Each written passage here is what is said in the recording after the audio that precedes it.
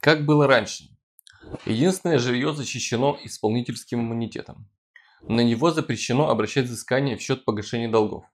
Исключение только для жилья, которое находится в залоге. К примеру, по договору ипотеки. Ипотечную квартиру можно забрать за долги, даже если семье больше негде жить и в ней прописаны трое детей. В 2021 году Конституционный суд совершил революцию в теме изъятия единственного жилья у должников. Теперь его все-таки можно забрать за долги, даже если оно является единственным и не состоит в ипотеке. Постановление Конституционного суда от 26 апреля 2021 года номер 15П. Но при определенных условиях. Что это за условия и как быть людям с долгами, имеющим единственное жилье? Как защитить его и оставить при себе? Об этом поговорим сегодня в этом видео. Я Игорь Полицаев, юрист, руководитель юридической компании. Помог списать своим клиентам долгов на сумму более 350 миллионов рублей. Лично участвовал более чем в 4000 судебных заседаний и более тысячи дел выиграл. И также участвую в создании законов, делюсь своим опытом с вами на страницах YouTube, в Telegram, а также ВКонтакте. Подписывайтесь на канал, здесь все о списании долгов. Ну что, продолжу самую душещипательную тему. Заберут ли жилье у должника, если у него оно единственное? Почему заголовки СМИ пестрят историями, что у должника изъяли единственное жилье? История вот такая. Некоторые должники злоупотребляли защитой исполнительского иммунитета единственного жилья. Иногда покупали на заемные средства жилье и не возвращали долг, а потом становились банкротами. Даже если все понимали, что разумно было бы переехать в квартиру поменьше или в менее престижном районе, а разницу в стоимости отдать кредитору, исполнительский иммунитет позволял им этого не делать. Должники оставались при жилье, кредитор без денег, а суды и приставы разводили руками. Такой закон если жилье единственное, то будь оно сколько угодно большим и роскошным, изымать его нельзя. Но что изменилось? Конституционный суд рассмотрел очередное дело.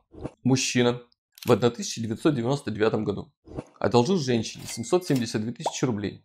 А должница годами не отдавала деньги. Зато купила квартиру площадью 110 квадратных метров. Причем уже после того, как было возбуждено исполнительное производство. С 1999 года Долг ее вырос до 4,5 миллионов, а должница стала банкротом. Кредитор дошел до Конституционного суда. Потому что, ну как это так вообще, мне нужны 4,5 миллиона рублей, при таком долге покупается квартира, но раз она единственная, я не могу получить свои деньги назад. Почему бы должнице не сменить жилье на менее роскошное, а мне не отдать разницу в счет долга? Если она сама не хочет, пусть суд ее обяжет. Этот случай стал поводом для новой проверки конституционности статьи 446 Гражданского процессуального кодекса Российской Федерации. Конституционный суд установил критерии, когда исполнительский иммунитет на единственное жилье можно снять.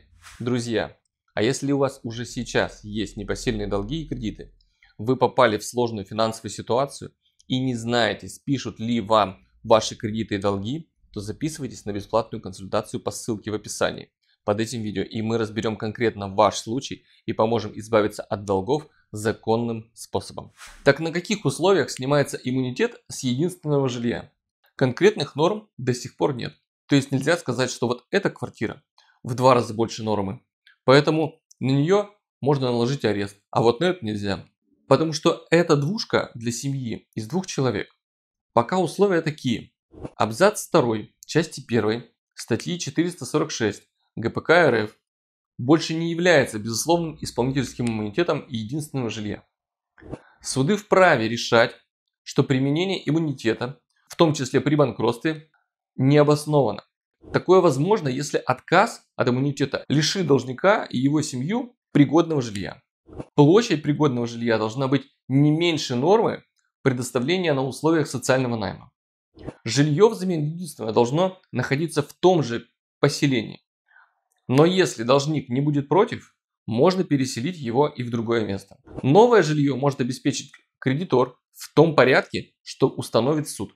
При решении таких вопросов суд будет учитывать рыночную стоимость жилья и величину долга.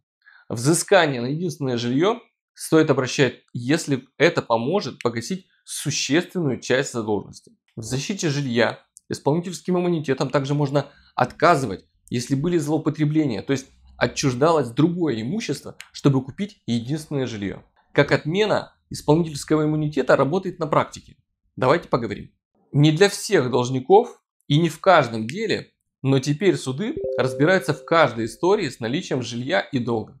В первую очередь переехать в менее комфортное и более дешевое жилье рискуют должники и банкроты при злоупотреблениях. Например, должник забыл погасить 1 миллион рублей долга, но уже после просрочки купил квартиру за 4 миллиона рублей. И теперь живет там вместе с женой и ребенком.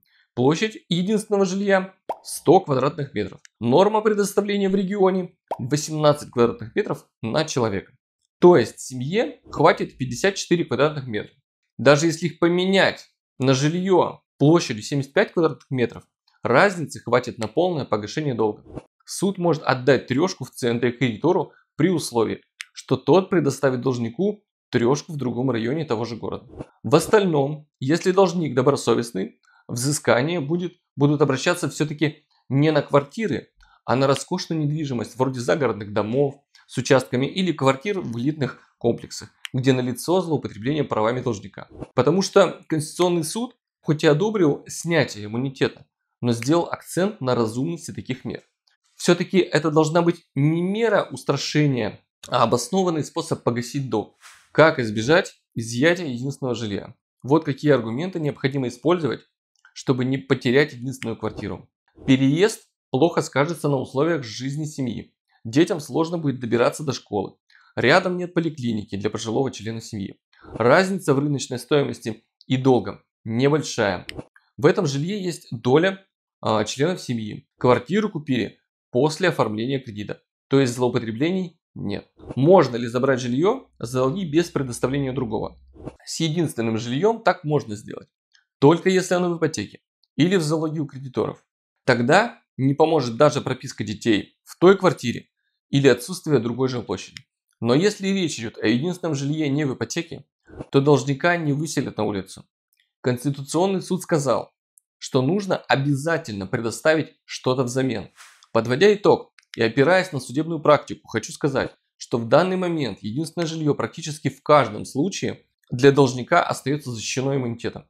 Переезжают в жилье площадью меньшего размера те, кто живут в шикарном роскошном жилье и недобросовестные должники, которые приобрели жилье после того, как оформили кредиты. То есть фактически взяли деньги в долг, на их приобретение купили единственное жилье, а долг решили не отдавать. Ну и, конечно, с ипотечного жилья попросят съехать, даже если туда влит материнский капитал, проживают несовершеннолетние дети, залоговое жилье иммунитетом не обладает. Вот такая правда. В остальных случаях граждане списывают законным способом с себя долги, остаются при своем единственном жилье и начинают новый путь без долгов. Но под крышей над головой. Если у вас есть долги, которые вы не в состоянии платить, записывайтесь на бесплатную консультацию. Разберем именно вашу ситуацию и поможем избавиться от долгов законным способом.